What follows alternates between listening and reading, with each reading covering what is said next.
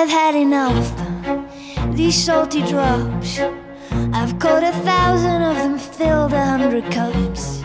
And bit by bit, they grew and grew. So I begin to turn them into something new. Every hour of every night, my little soldiers drew breath and came to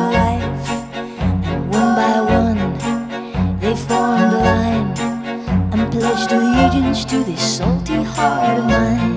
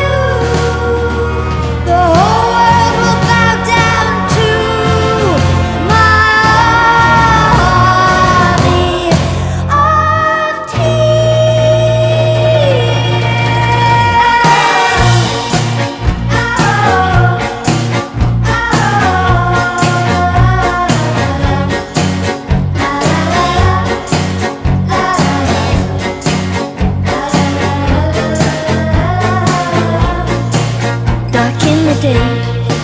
Black out the sun.